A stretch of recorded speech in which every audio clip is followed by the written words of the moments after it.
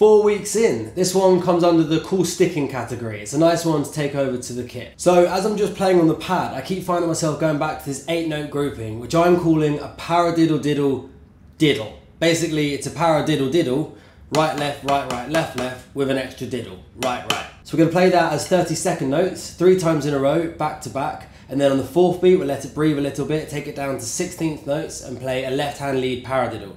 Left, right, left, left. Paradiddle, diddle, diddle, paradiddle, diddle, diddle, paradiddle, diddle, diddle, left, right, left, left.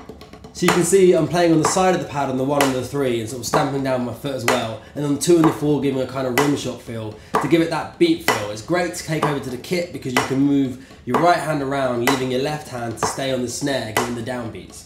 So this one's actually a really good one to play super slow, even if you can play it fast first, to try and squeeze those subdivisions in neatly. So I'm gonna put it at 50 BPM and then try and get that sounding clean, slowly move it up to a bit more how you play it with fills and a beat.